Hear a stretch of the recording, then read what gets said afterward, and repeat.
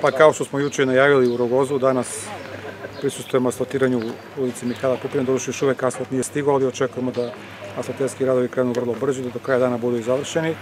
Inače, ulica je dužine 140 metara. Od prethodnih radova skinuta je postojeća asfaltna podloga koja je bila u jako lošem stanju. Urađen je novi tampon, u jednom delu ulice novi ivičnjaci, podizani su šahte na, na projektovom kotu.